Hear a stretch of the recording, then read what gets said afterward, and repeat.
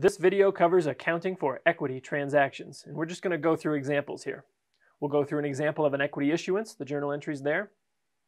We'll go through an example of treasury stock, that's when a company repurchases its own stock, and then sometimes they resell it again into the market. Third, we'll go through an example of dividends. And fourth, we'll talk about stock-based compensation. We'll talk about the journal entries involved there. And we're going to pretend in this video that we are FactSet. FactSet is a company it's a public company, and they provide uh, data and information to investors. And so that's what we use FactSet as our example. First, let's talk about equity issuance. And we'll go through an example of FactSet issuing new equity. So they want to raise equity capital. They're ready to bring in new owners to the business, and they want to raise equity capital. So FactSet issues 1 million brand new shares for $100 each. And by the way, the common stock par value is $1 per share. Now this idea of par value is really not important at all. Um, it shows up on the balance sheet, but it's just kind of a quirky feature of how we account for equity. Um, and you'll see that it doesn't have any really significant substance to it. But it's a fact, so the common stock's par value, company has to decide what's our par value. And FactSet, we're going to assume, has a par value of $1 per share. Okay, let's talk about this equity issuance. The proceeds to FactSet, they're going to get $100 per share. That's they're raising capital. Every share that they issue, they get $100. They issue a million shares, so they get $100 million. Now here comes the par value part. We're going to split that $100 million of proceeds into two parts. The par value and anything additional above par value. So the par value is $1 million. That's just 100 uh, oh, sorry, that's just $1 times 1 million shares. And so $1 times 1 million shares means $1 million is the par value. Anything over and above that, which is the 99 million remaining, is a APIC. So here's what the journal entry looks like. It's a debit to cash of 100 million, that's how much money we're raising, and it's a credit to two different accounts. So the par value is going to go into the common stock account. And anything above par goes into the APIC account. Okay, this is just a fact. This is how accountants deal with it. So whenever you see the uh, common stock account on a company's balance sheet, you'll know that the balance in that account just reflects the number of shares issued times the par value of that share. So in FactSet's case, the common stock account would say a million dollars in it. You would know that FactSet's par value is $1. So you'd be able to calculate for yourself that there's a million shares issued in that uh, the, of FactSet. So that's kind of the the way I see the par uh, the common stock account on the balance sheet. But it's not super important for purposes of this class. Okay, that's it. That's it for the equity issuance. And now let's move on to the next type of transaction, which is treasury stock. Treasury stock is when a company purchases its own shares. So they've already issued the shares, but then they're going to repurchase those shares back from the market. So let's go through this.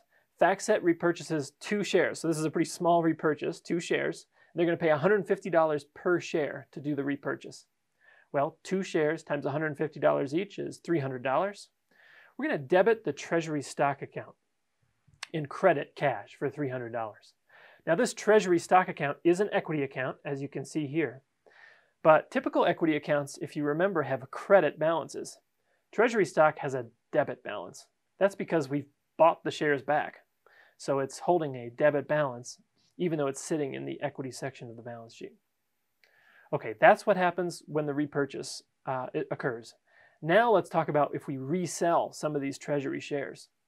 So first, let's suppose that FactSet's going to resell one of those shares for $200. Well, $200, that's more than 150. This is kind of a gain, isn't it, of $50.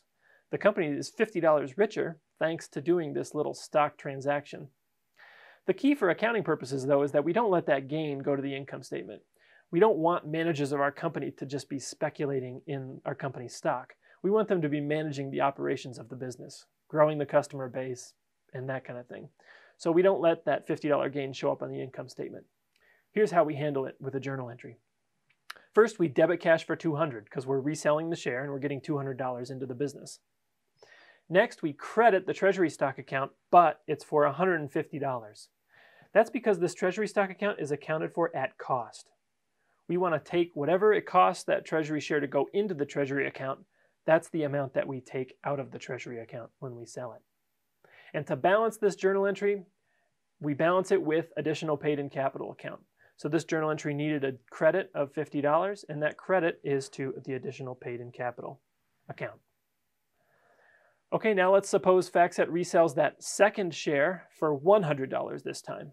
So selling it for $100, that's kind of a $50 loss for speculating in its own shares. And it's a debit to the cash account of $100. Again, we're taking it out of the treasury stock account for 150 for the same reason. You take treasury stock out of that treasury stock account at what it cost you to put it in there. The reason is once there's zero shares that we have in treasury, we want the treasury stock account to have zero dollars in it.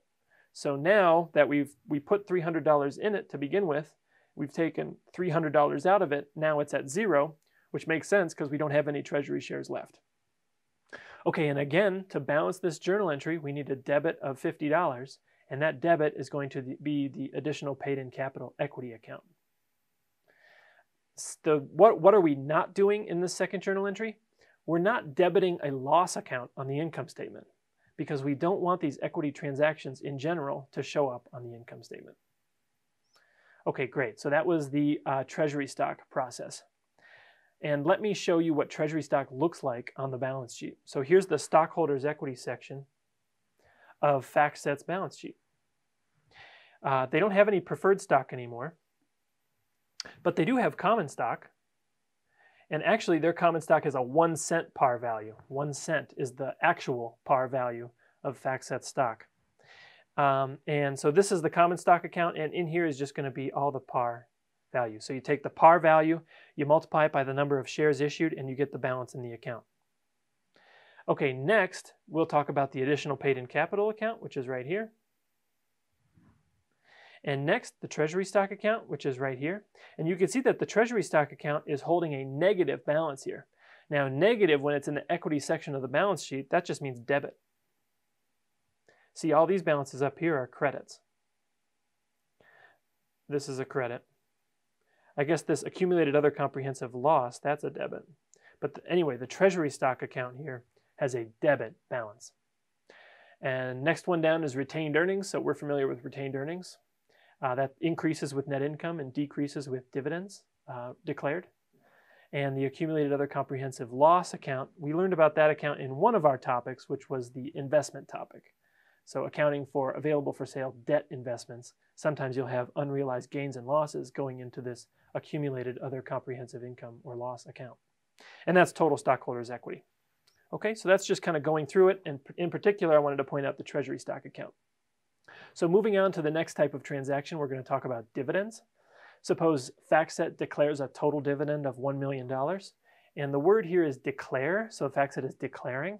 What is a declaration? Well, they just promise. They say, hey, investors out there, we're going to get our we're going to get it put together, but we're declaring now a $1 million dividend. So get ready to receive that $1 million dividend. So when they declare it, they put it into a liability account. They credit dividends payable.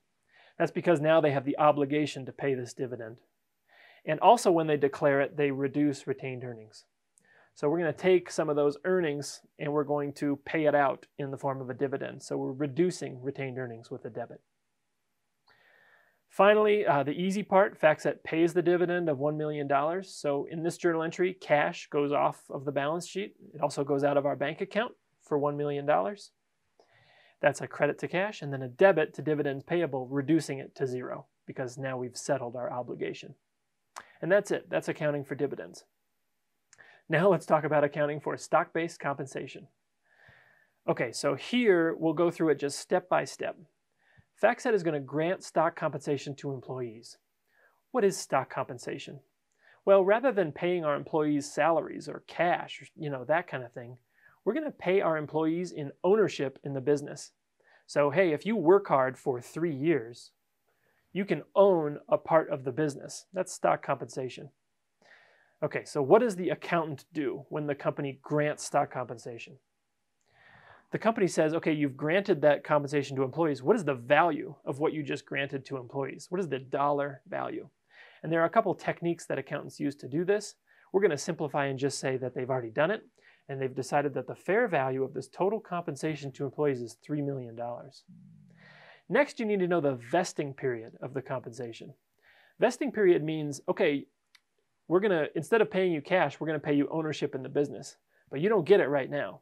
You need to sit in your chair and add value to this business over three years. Then you get ownership in the business. So that is the vesting period of the stock compensation. Okay, once the accountant knows these two facts, fair value of 3 million, vesting over 3 years, what the accountant is going to do is charge this value to the income statement as an expense evenly over the 3 years. So it's a debit to compensation expense. Now, what is the credit here? We are not paying employees in cash, so it's not a credit to cash. We do not owe the employees any cash in the future, so it's not a credit to any liability account. This is just an equity transaction. So while the debit is to compensation expense, the credit is kind of going into equity's version of a flush, slush fund, which is the APIC account. So we are just going to put this credit into the APIC account of $1 million. So a credit to the APIC account is going to increase total equity on the balance sheet. But what is compensation expense going to do? It's going to get closed into retained earnings and it's going to reduce retained earnings. So while the APIC account is going up by 1 million, the retained earnings account is going down by 1 million, and the net effect in year 1 here is 0 on the equity section of the balance sheet. Okay, so that's the journal entry, and we're going to make that journal entry every year. So in year two, as the employee earns another third of that, of that stock comp, we're going to debit compensation expense a million and credit APIC a million. And we'll do the same thing in the third year. So by the end of it, we've recognized the total fair value into the income statement. We've recognized $3 million. And our APIC is also $3 million higher. Now, what was the point of doing this? Why is it important to have compensation expense on the income statement? Well, if you're not an employee, if you're just an investor in FactSet, you kind of want to know about this. How much stock are you giving away to your employees? Because once they give new stock to employees, that is diluting all of the other owners. In other words, if you give, give some stock to an employee, all of the other owners now own a smaller percentage of that company. So we make investors aware of this fact by charging the value we think that uh, stock compensation is to compensation expense on the income statement. So that makes investors aware of the uh, expense to them of giving up some of the ownership in the business. Great, so we've gone through the vesting period of this stock compensation. Now let's get to the time when the employee actually gets to benefit from these stock grants. So we'll talk about two different types of stock-based compensation. First, we'll talk about a stock option. And here we'll say the employee, is going to exercise one stock option for $100. So this $100 is sometimes called the strike price. And why is this called an option? Because after that three-year period, the employee has the option to exercise this uh, stock compensation. The option is, hey, you can have a share of FactSet and all you have to pay is $100. When would the employee exercise the stock option? Well, if the uh, stock price of FactSet has gone up since uh, the date of the grant, this stock option is going to be in the money. It's called in the money. So the employee will exercise the stock option and get something worth more than 100 by paying $100. Okay, so that's the economic situation. And when the employee does this exercise, they're actually paying $100 and they pay $100 to us, FactSet. We get $100 in cash and we give the employee a share. So this is kind of like a stock issuance. It's a debit to cash for the proceeds, and then it's a credit to the common stock and APIC account. What goes into the common stock account? Well, the par value of that share, which we assumed was $1. So the par value of the share goes into common stock, and everything else, $99, goes into the APIC equity account. Okay, that's a stock option. Now let's talk about restricted stock. Restricted stock is a little simpler because restricted stock doesn't give the employee an option. At the end of three years, the employee just gets a share. So now there's a new share out there. That employee has that share now. So we need to make sure our common stock account reflects the fact that there's one more share out there. So all we do is re reclassify uh, $1, which is the par value of the stock. We just reclassify $1 from the APIC account into the common stock account. There's no effect on total equity. The only reason we did that was so an investor can look at the common stock account, divide it by par value, and know how many shares of stock are out there. Okay, so those are the two different main types of stock compensation that you'll see out there. So just to recap, we went through uh, a bunch of journal entries for these four types of transactions, equity issuances, treasury stock, dividends, and stock-based compensation. And we learned that generally equity transactions stay off of the income statement. We don't want any gains or losses that result from equity transactions to show up in the income statement because we don't want our managers focused on speculating in their own stock. So we keep them off the income statement, and usually those gains and losses, whatever they are, just go straight to the APIC account.